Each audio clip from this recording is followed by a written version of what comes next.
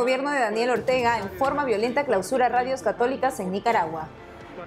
El Opus Dei responde a acusaciones de explotación de mujeres. Además, los católicos del ministerio Orando por nuestros hijos invitan a sumarse a esta iniciativa mundial. Hola amigos, bienvenidos a un nuevo programa de su noticiero con enfoque católico EWTN Noticias. Yo soy Natalí Paredes. Soy Eddie Rodríguez Morel, gracias por acompañarnos.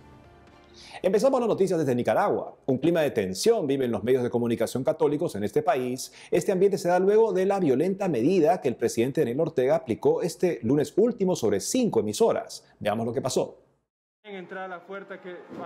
Las imágenes de las cámaras de seguridad muestran a la policía irrumpiendo a la fuerza en la parroquia Divina Misericordia en el municipio de Sébaco, diócesis de Matagalpa, para cerrar una de las cinco radios católicas clausuradas el lunes por el régimen de Daniel Ortega. Aquí podemos observar un grupo de policías. En su página de Facebook, la parroquia transmitió en vivo la llegada de los efectivos policiales quieren entrar a la fuerza, queridos hermanos, todo es un grupo de policías, como podemos observar. Podemos ver ahí que quieren quitar a las personas. Una joven que no quiere quitarse, le empujó, se está defendiendo. Podemos observar ahí cómo la están empujando, la botaron. Por su parte, Canal Católico de Sébaco transmitió también en vivo la irrupción de la policía en la capilla Niño Jesús de Praga. Las imágenes no son claras. La policía estaba lanzando disparos y bombas lacrimógenas, lo que impedía a los periodistas acercarse. En estos momentos estamos siendo asediados en las afueras del canal, ¿verdad? No dejan que las personas se acerquen a la parte frontal del Colegio San Luis, a la Capilla de Niños Jesús de Praga. Están buscando la manera cómo sacarlos con disparos al aire, al igual que están lanzando bombas lacrimógenas a todas las personas, buscando cómo ellas se vayan. En estos momentos que se quieren llevar nuestros equipos, equipos que hemos adquirido con la ofrenda del pueblo que el pueblo han dado para que nosotros pudiéramos contar con estos medios de comunicación y a través de ellos poder evangelizar y llegar a más personas. Se informó que el Instituto Nicaragüense de Telecomunicaciones y Correos, conocido como Telcor, usa como argumento que no cuentan con los títulos habilitantes vigentes. Sin embargo, Monseñor Álvarez asegura personalmente haber presentado la documentación. Si ellos tienen razón, yo mismo diré ante el pueblo que está correcto que cierren nuestras radios. Pero si no tienen la razón, que tengan la valentía y el coraje de decir que ellos se equivocaron o que ellos quieren a propósito cerrar nuestros medios de comunicación. Nunca he tenido problema de reconocer mis errores y ellos lo saben pero tampoco aceptaré errores e injusticias que quieran a nosotros dárnosla cuando son cuenta de ellos. Hasta el momento las radios siguen rodeadas por los efectivos policiales y con el flujo eléctrico cortado, lo que dificulta la comunicación. En otras noticias, el Opus Dei en Argentina respondió a una nota de la BBC de Londres. El artículo da cuenta de una denuncia de 43 mujeres de haber sido explotadas laboralmente por la organización católica. Conozcamos los detalles en la siguiente nota.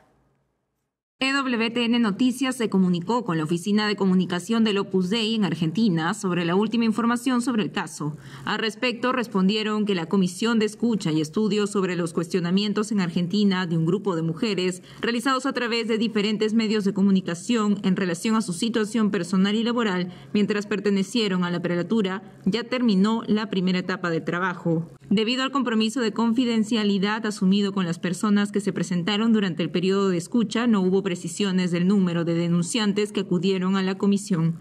Desde Argentina también se indicó que la que sigue es la fase de elaboración del informe en base a los testimonios obtenidos. Dejaron abierta la posibilidad de una segunda etapa de escucha.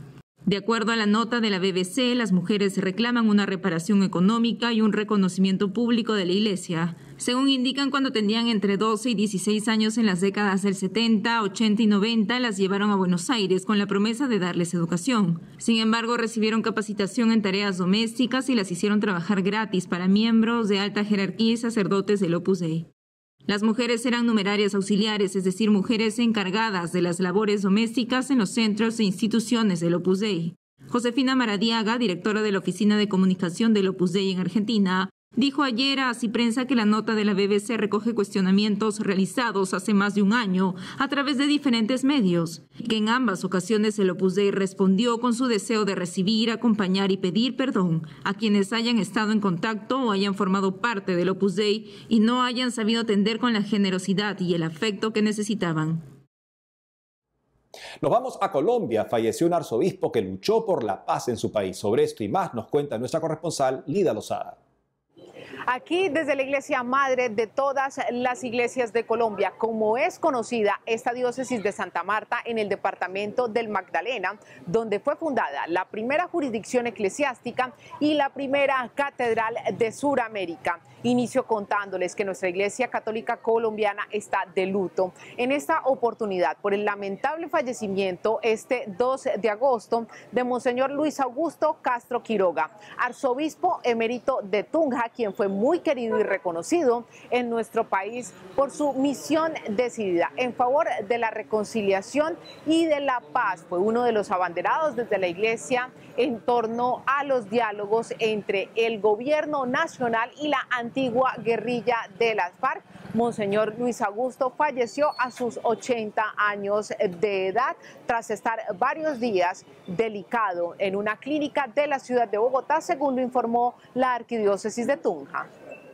Monseñor Luis Augusto, quien nació en Bogotá el 8 de abril de 1942, fue superior provincial del Instituto de Misiones de la Consolata en la capital colombiana entre 1981 y 1986.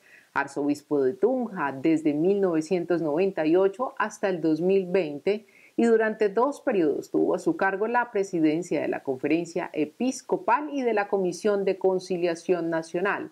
Monseñor Castro estudió filosofía en la Pontificia Universidad Javeriana de Bogotá, teología en la Universidad Urbaniana en Italia, orientación psicológica en Pittsburgh y un doctorado en teología también en la Javeriana. Este misionero de la Consolata fue un escritor decidido que le dejó múltiples publicaciones sobre temas como el perdón, la reconciliación y el diálogo al país un gran teólogo, pero además un hombre muy sencillo y sensible ante el dolor humano.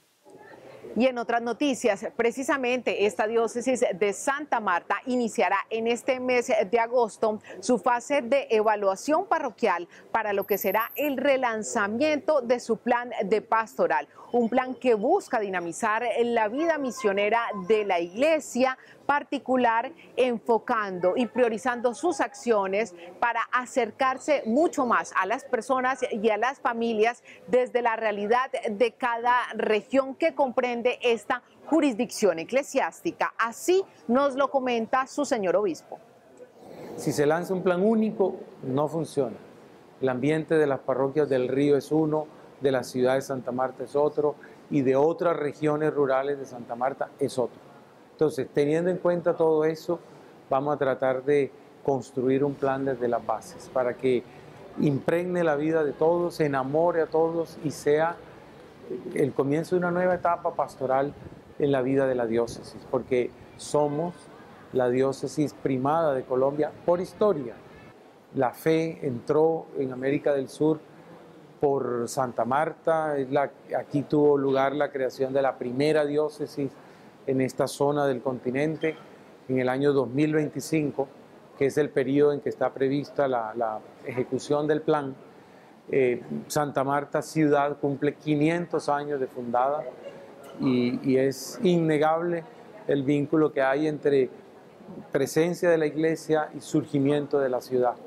Y termino contándoles que por estos días la Conferencia Episcopal de Colombia está de lanzamiento. Se trata de la nueva página web de la institución que mediante un diseño más interactivo y accesible promete brindarles mayores facilidades de navegación a todos los usuarios que deseen acceder a toda la información de la Iglesia Católica en Colombia. Esto es lo que nos comenta al respecto el padre Martín Sepúlveda, director de comunicaciones de la conferencia. Entre las novedades más destacadas y facilitadas, como digo, por la tecnología de hoy, se encuentra la librería virtual donde los visitantes podrán ingresar para la compra de textos religiosos y litúrgicos en línea. También se podrá hacer consulta y reservación del servicio que presta la Casa de Encuentro de la Fundación Bernardo Herrera Restrepo, que funciona al interior de la sede de la Conferencia Episcopal. Asimismo, el nuevo sitio tendrá un mapa eclesiástico satelital para ubicar geográficamente las jurisdicciones eclesiásticas del país y la información que ellas tienen para cada uno de nosotros.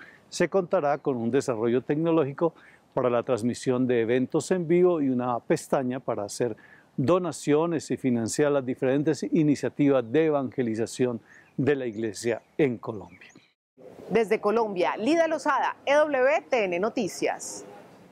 El Papa Francisco reanudó las audiencias generales después de una pausa en julio. Dedicó su catequesis de hoy miércoles a su reciente viaje apostólico a Canadá. Escuchemos sus palabras.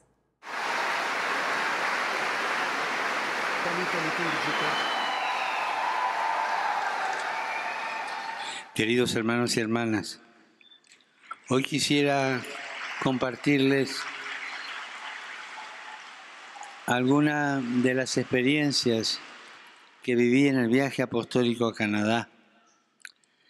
El lema del viaje fue caminar juntos y quise realizarlo como una peregrinación penitencial para pedir perdón a los pueblos indígenas por lo que sufrieron a causa de tantos cristianos, entre ellos muchos católicos. Fue un camino recorrido en grandes etapas, Edmonton, Quebec y Caluit. Y en este itinerario se dieron tres pasos, la memoria, la reconciliación y la sanación, que son posibles gracias al encuentro con Cristo nuestra esperanza. El Papa Francisco felicitó el ministerio LGBTQ del controvertido sacerdote jesuita James Martin. LGBTQ son las siglas que se usan para definir el colectivo de lesbianas, gays, bisexuales, transexuales y queer. En su cuenta de Twitter, el presbítero jesuita publica una carta con fecha 20 de julio en la que el Santo Padre le agradece por un evento denominado Outreach, realizado en junio en Nueva York. Le dice el Papa, felicitaciones por haber podido concretar este año el evento de manera presencial. El Santo Padre también dice, lo más valioso no es lo que aparece en los folletos y en las fotos, sino lo que ocurrió en los encuentros interpersonales. Al finalizar su carta, el sumo pontífice anima al ministerio del controvertido sacerdote jesuita a seguir trabajando en la cultura del encuentro, que acorta las distancias y nos enriquece con las diferencias, tal como lo hizo Jesús, que se hizo cercano a todos. ¿Sabía usted que hay un ministerio de servicio de católicos que se reúnen para orar por sus hijos? En Estados Unidos hay un grupo con esta iniciativa que se llama Orando por nuestros hijos. Los padres de familia se unen en oración para rezar por sus hijos y los del mundo entero, sobre todo por los jóvenes. Para hablar sobre esta interesante iniciativa estamos conectados con Maritza Monroe en Florida. Ella es fundadora del ministerio Orando por nuestros hijos. Maritza, ¿cómo nace la iniciativa Orando por nuestros hijos? Hola Natalie, gracias por la invitación. Eh, mira, este ministerio, este apostolado del ministerio Orando por nuestros hijos nace con un hermoso e inesperado llamado. El Señor me hizo ese llamado hace muchísimos años, en el 2006, durante una Eucaristía, y es así como nace el ministerio. Luego ya lo demás es historia. El ministerio fue creciendo y ahora estamos en servicio en varias diócesis, así como en diferentes países. ¿Qué oración u oraciones emplean para pedir por sus hijos? Nosotros usamos básicamente el material que el cual la Arquidiócesis de Miami nos ha otorgado el imprimatur, que es el Santo Rosario por nuestros hijos y la coronilla a la Divina Misericordia por nuestros hijos. Eh, son eh, el Santo Rosario por nuestros hijos y la coronilla son eh, con específicas eh, peticiones e intenciones a nuestro Señor por las necesidades de los hijos del mundo entero. ¿Qué gracias obtenidas podría citar? Muchas, Natalie, muchas, la verdad. Yo creo que, y lo más importante, porque también es la cantidad, ¿verdad? Que podemos contar cuántas parroquias se han unido, cuántos países se han unido a este apostolado, pero lo más importante yo creo que es que la práctica del rezo del Santo Rosario por nuestros hijos ha llevado a la conversión de muchas almas, a la paz en las familias, a la unión de las familias, porque esta práctica tiene muchas bendiciones. El Señor realmente te bendice, el Señor realmente es el que lleva esas gracias a tu hogar y por eso es que este Santo Rosario por nuestros hijos se hace tan amado y querido por muchas, muchas personas. Así es, qué importante eso. ¿A qué países llega este ministerio? Mira, ah, en Estados Unidos estamos en diferentes estados, como es Florida, estamos en California, estamos en Texas.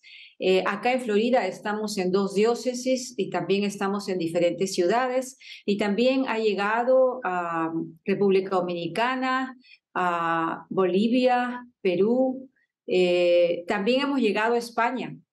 Así que estamos muy, muy felices y contentos con todas estas bendiciones. Maritza, ¿cuál es el procedimiento que siguen para juntarse y orar? Mira, es muy sencillo, Natalie. Eh, lo, que, lo que se pide realmente, básicamente, es que se en cada parroquia se reúnan por lo menos una vez al mes a rezar el Santo Rosario por nuestros hijos. Entonces se reúne la comunidad, se invita a la comunidad, se reúnen y cada uno da sus intenciones, sus necesidades. Hay mucha necesidad de oración, Natalie, hay mucha necesidad en el mundo. Nuestros hijos eh, muchas veces están siguiendo los caminos del mundo, pero para eso eh, tenemos nosotros esta ayuda que nos da nuestro Señor, que es la oración.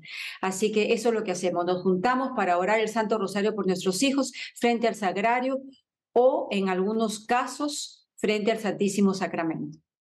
¿Y cómo se puede participar en orando por nuestros hijos? Bueno, realmente nosotros tenemos varias formas de participar. Tenemos un grupo de oradores de intercesión que está formado más o menos de ahorita de 70 personas. Están en diferentes partes del mundo estos oradores de intercesión y se oran 24 horas al día, seis días a la semana, por las necesidades que la gente nos envía, por sus necesidades. También pueden participar en sus casas orando el Santo Rosario por nuestros hijos. También pueden llevar el ministerio o este apostolado del ministerio orando por nuestros hijos a sus parroquias. Y así es como pidiendo eh, permiso al párroco, pueden iniciarlo en sus parroquias y así bendecir a toda la comunidad. Así es, esperamos que más personas puedan unirse a esta iniciativa. Maritza Monroe, gracias por la entrevista. No, gracias a ti, Natalie. Y si me permites, eh, puedo decirles que se pueden comunicar con nosotros a nuestro email, que es nuestroshijosm.gmail.com o también a nuestra página web, que es orandopornuestroshijos.org. Los esperamos con amor y aquí estamos para estar unidos por la salvación de nuestros hijos.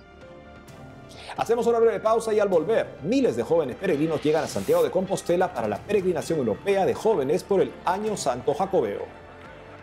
Además, con material reciclable, venezolanos preparan un mural gigante con la imagen del Santo Cristo de la Grita a pocos días de su fiesta. Ya volvemos con más noticias con enfoque católico.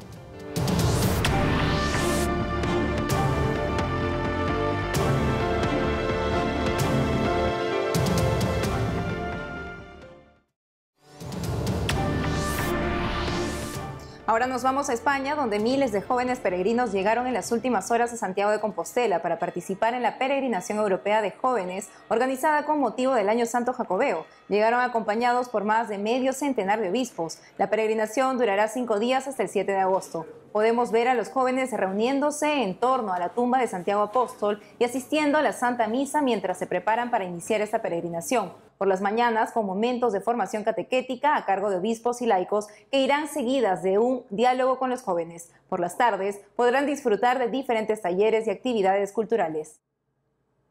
Ahora nos vamos hasta Haití para recordarles que desde el 2017 la Asociación Católica Familia Quisito atiende a los niños abandonados de este país, dirigido por la hermana Paisi. Sostienen ocho escuelas creadas para la educación de 1.200 niños en Puerto Príncipe. Además, cinco hogares para niños de la calle. Asimismo, centros donde ofrecen catequesis y otras actividades como la práctica de fútbol. Todo con el objetivo de promover su encuentro con Cristo. Si usted quiere colaborar financieramente con esta obra, estos son los contactos. Ahora escuchemos a la hermana Paisi recordándonos su labor con los niños en Puerto Príncipe, Haití.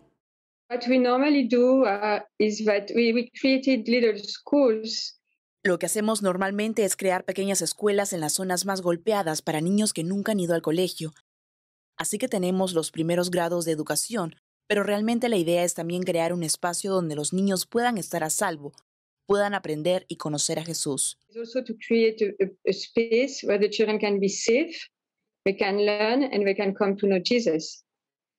¿Qué obstáculos se le presentan para evangelizar? Well, the, the obstacles come uh, different kind of ways. Uh, los obstáculos se presentan de diferentes maneras. Como saben, hay mucha violencia en el país, lo que a veces retrasa nuestro trabajo, pero en general, si lo comparo con la evangelización que he hecho en otros países, me resulta más fácil hacerlo aquí porque los niños pobres están muy abiertos a la palabra de Dios. Hoy la Iglesia Católica recuerda al beato Agustín Casotti, quien escribió un tratado pastoral en el que condenaba la adivinación, la superstición y la brujería, pero recomendaba educar al pueblo en torno a estos problemas y no simplemente castigarlos. Precisamente sobre cómo dejar estas prácticas, el padre Eduardo Hayen, director del semanario Presencia de la Diócesis Mexicana de Ciudad Juárez, aconsejó por su cuenta de Twitter. Veamos. En el tuit publicado el primero de agosto, el padre Hayen propone los siguientes pasos. Primero, hacer un examen de conciencia y arrepentimiento. Dos, acudir a la confesión. Tres, renunciar a Satanás. Cuatro, empezar a orar. Cinco, retiro de evangelización. Y como sexto paso, catequesis permanente.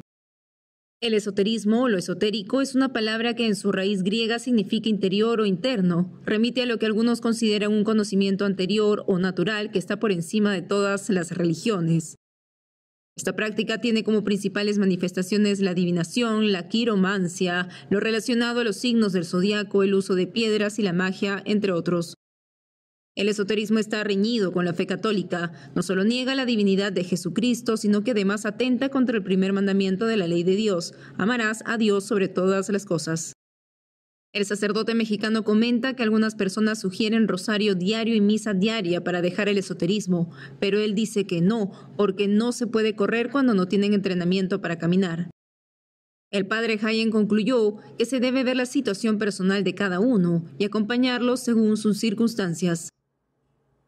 En Venezuela, el pasado 30 de julio, voluntarios de la Pastoral Social Caritas de la Arquidiócesis de Coro salieron a las calles con carteles en mano para concientizar a la población sobre la problemática de la trata de personas y prevenir que más venezolanos sean víctimas de este delito. Esta actividad llevó como lema No hay trato con la trata. Hizo hincapié en practicar la prudencia y la seguridad al aceptar ofrecimientos por parte de personas no completamente confiables, como en los casos de migración. La trata de personas es un delito que consiste en captar y retener a una persona la fuerza, engaño o abuso para explotarla sexualmente o con trabajos forzados, esclavitud, servidumbre o para extraerle los órganos. Un informe sobre la trata de personas, julio 2022, del Departamento de Estado de Estados Unidos, indica varios datos de venezolanos víctimas de la trata de personas. La jornada de concientización concluyó con el rezo del Santo Rosario en la sede de Cáritas Arquidiocesana. Venezuela se prepara para la festividad del Santo Cristo de la Grita, cuya fecha central es el 6 de agosto. Veamos de qué se trata. Aquí la imagen del Santo Cristo de la Grita. 20.000 tapas de plástico pegadas sobre ella darán forma a la venerada imagen. El proyecto de mural está en la entrada del santuario diocesano del Santo Cristo de los Milagros. La meta es que esté lista el 6 de agosto. Esta obra va a estar siendo realizada en aproximadamente 5 o 6 días, más o menos una semana, pero debemos tomar en cuenta que el proceso para crear una obra como esta dura mucho más, que son aproximadamente dos semanas más en que estuvimos recogiendo las tapas, todo el proceso de organización de parte de la Fundación Freelab, que tomó incluso un mes antes para hacer el muro, para tener todo listo. Así que realmente el proceso toma mucho más tiempo, aunque solamente estemos trabajando directamente en el mural, más o menos una semana. Desde hace varias semanas, servidores y voluntarios recogen las tapas destinadas al mural en diversos lugares del santuario y del municipio Jauregui. La primera tapa fue colocada por uno de los monaguillos del santuario. Le siguieron los pequeños de la Cofradía del Santo Cristo. Peregrinos y devotos de la imagen también hicieron lo propio. Cada una de estas tapas representa la fe, representa nuestras creencias. Me parece que ha sido algo muy interesante porque estamos vinculando una festividad religiosa con el cuidado de la casa común, con el cuidado de nuestro planeta Tierra. Porque cada una de estas tapas pudo haber ido al océano, pero está acá representando nuestra fe, representando nuestras creencias y creando una gran obra de arte hecha por toda la comunidad. Porque algo que siempre he creído sobre este tipo de arte es que no es la obra de un artista, es la obra de la elevación de conciencia de muchas personas en torno al medio ambiente y ahora también sobre la conexión de su fe. Destapa la Fe se llama la iniciativa del presbítero Delvis García, rector del santuario y de la Fundación Frelat. Y eso es todo por hoy amigos, gracias por habernos acompañado. Ya saben que pueden seguirnos en nuestras redes sociales y en wtnnoticias.com. Hasta pronto.